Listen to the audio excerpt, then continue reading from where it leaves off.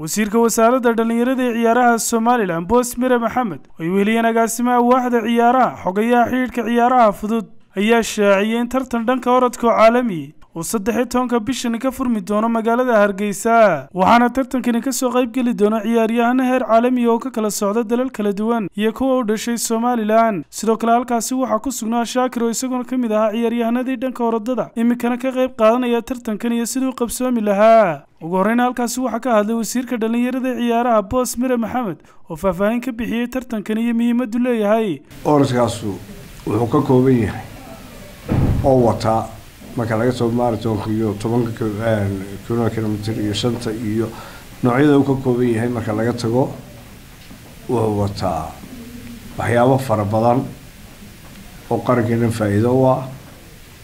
Wuxuu ka turjumayaa horumarkaynu gaadhnay wuxuu ka turjumi doonaa nabadgelyadaynu gaadhnay wuxuu ka turjumi doonaa midnimada qarankan uu leeyahay. Isku tashaday oo iskii u dhistay dhulkiisa magaalada bartamaheeda orodku ka dhici doonaa isla markaa iyagoo ordaya ciyaartooydu kuwa caalamiga iyo kuweenuba waxaa la wada sawiri doonaa dhismayaasha dhaadheer iyo horumarka ay magaaladu gaadhay si toosana waxaa loogu gudbin doonaa shaashada caalamiga haddii la yidhaahdo orodka waxaa aada iyo aada uga soo shaqeeyey ninka dhalinyarada ee halkan dhexe fadhiya shaakir oo ah nin somalilandera oo orodadana ahaa oo france. Wadanka francena ka soo jeeda iminka dhankoodyguna halkaasi waxaa ka hadlay mas'uuliyiintii kala duwanaa ee halkaasi ku sugnaa waxaanay tilmaameen. Kan orodadii kaloo dhan wuxuu kaga duwan yahay orodkan dadka hordaya waxaa la siinayaa kaadhar g b r ku xidhan yahay.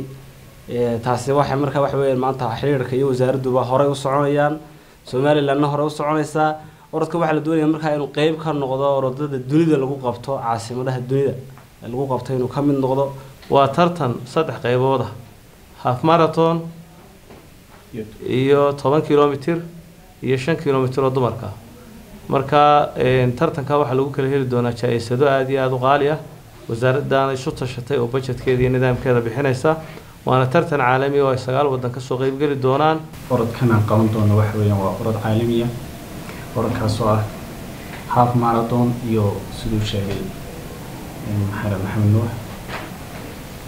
Iyo toban kilomitr oo lookala oo ah local markaan leenahay waxa weeyaan waa somalilander. Shanta gobol ee somaliland. Iyo half marathonka oo caalamiya oo ay ka soo qeybgeli doonaan wadano ay ka mid yihiin jabuuti ethoobia kenya uga uganda baxrain qatar france america eliteria maroc iyo iyo somaliland oo ah meesha lagu qaban doono caasimadda hargeysa. Orodkani waxa weeyaan waa orod gaar ahaan magac iyo sharaf a u tahay qaranka somalilan waa orod ay ka soo qeyb galayaan dad caalamiya wadano kala duwan waa ciyaartooyo caalamka ka horda waa waxaan is oran karaa maanta. Dee tartankani maanta caasimadda lagu qabanaya waa tartanka keliya ixtiraafkaan raadinayo noo keenayo. Cismaan axmed ismaan saabti hargeysa. Daawashadaadu waa muhiim. Meel kastoo aad joogta daawade fadlan ka mid noqo ku dhowaad halka milyan ee ku xidhan bartayada facebook si aad uga mid noqoto like gare sidoo kale sabskrayb gare bartayada youtube-ka ee saab t v si aad uga mid noqoto dadka ugu horreeya ee hela wararka barnaamijyada iyo warbixinaha aan idiin soo gudbino meel kastoo aad adduunka daafihiisa ka joogto la soo deg abka saab t v. Sidoo kalena booqo websayteka saab t v com. Fadlan nagu xidhnow